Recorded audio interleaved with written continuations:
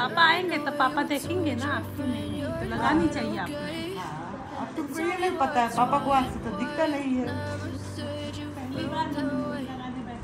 You're trying to stay strong and fake a smile until I look away. But I've known you too long, it hurts to watch your blue eyes fade to gray.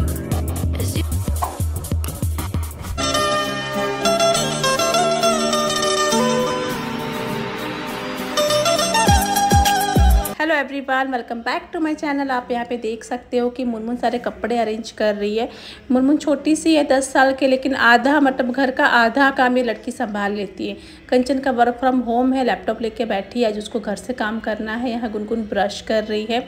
और दोनों भी लड़के टिंकू और Laddu TV देख रहे हैं यहाँ पर। कार्टून चल रहा है उनका। मैं आपको किचन में ले चलती हूँ। मुझे रोटी अभी बनानी बाकी है। गैस चला दिया है। मैंने यहाँ पे सब्ज़ी बन गई है सुबह कंचन ने बना दी थी। सब्ज़ी सलाद काट लिया है और कुछ मिर्चियाँ भी मतलब भून के रख दिए खाने के लिए। Good morning everyone welcome back to my channel this is Jessica Gupta आप सबका तहे दिल से स्वागत करती हूँ। तो कल के ब्लॉग में आपने देखा कि बहुत सारी चीज़ें ऐसी हैं जो सेटल मेरी नहीं हुई है। बहुत सारे काम रह गए थे पूजा के लिए बट होपफुली आज सब कुछ सेटल्ड हो जाएगा और थोड़ा सा मतलब आज उम्मीद लग रहा है मुझे कि हाँ सब अच्छा होगा। अभी मैंने एक दीदी को बुलाया है जो कि मेहंदी लगाएँगे। मेरी उनसे बात हुई है मेरी, लेकिन अब तक तो वो नहीं आई है। होपफुली जल्दी ही आ जाए।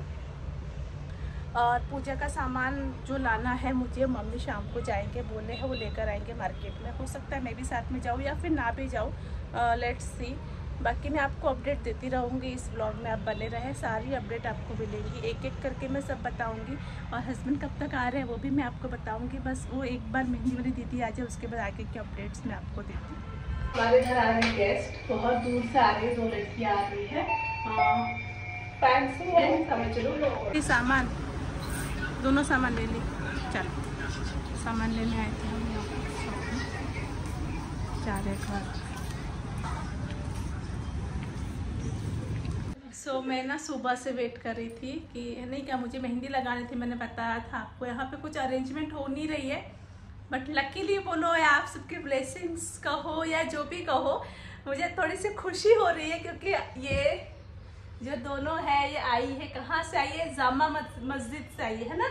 हाँ जामा मस्जिद इतना दूर से आई है सिर्फ़ और सिर्फ़ मुझे मेहंदी लगाने के लिए।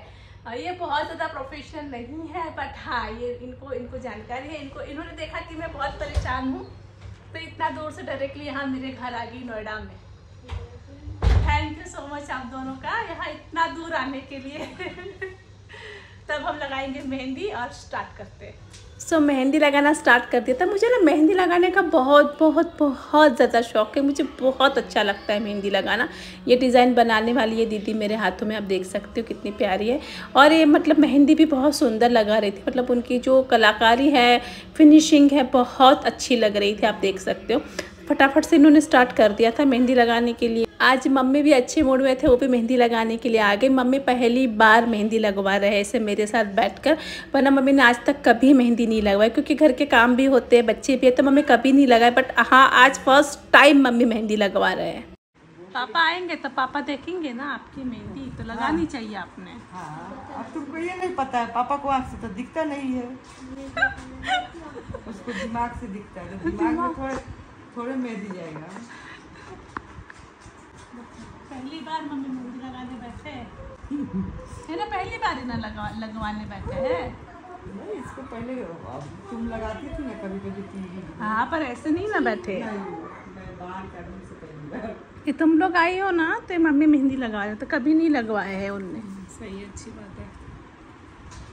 अरे कम से कम यादगार रहेगा ना हम्म। कि वहाँ दिल्ली गई तो लड़कियाँ लोग से मेहंदी लगवाई।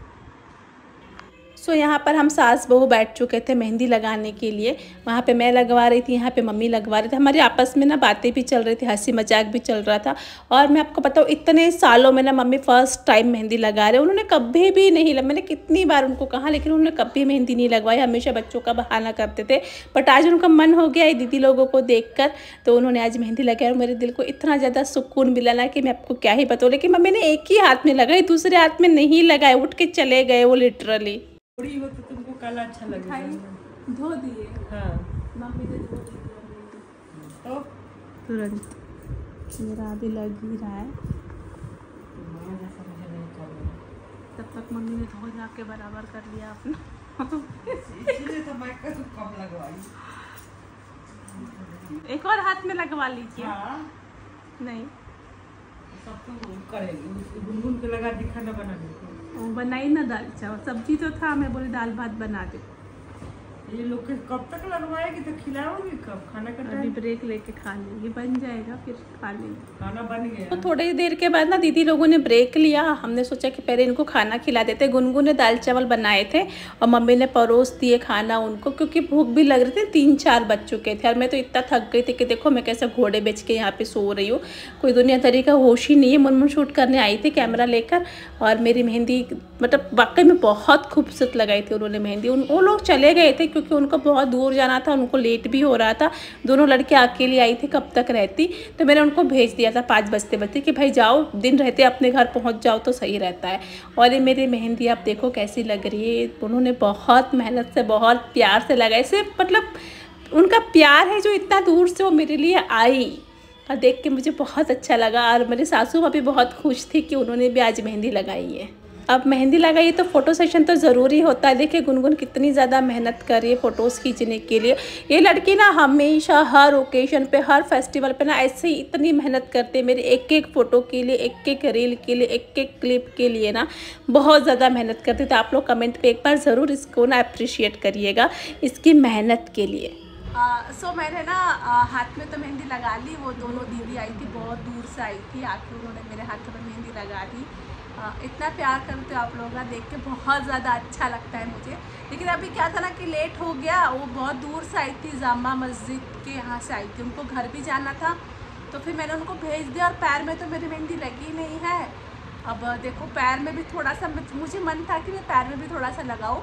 तो अब देखती हूँ कि पैर की मेहंदी के लिए क्या जुगाड़ होता है।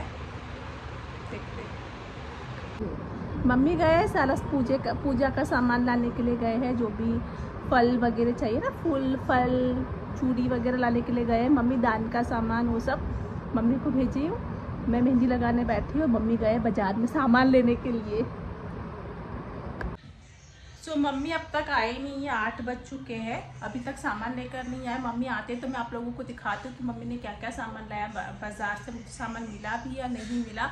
और मेरे पैरों में कौन मेहंदी लगाएगा ये भी एक बहुत बड़ा ही मतलब दिक्कत है। सो so, मुझे बहुत ज़्यादा दिक्कत हो रही थी कि मैं पैर में मेहंदी कैसे लगाऊँ। और फाइनली मुझे एक जुगाड़ मिल गया है पैरों में मेहंदी लगाने के लिए। और ये ना आप लोगों के लिए सरप्राइज़ कि कौन मेरे पैरों में मेहंदी लगा रहा है?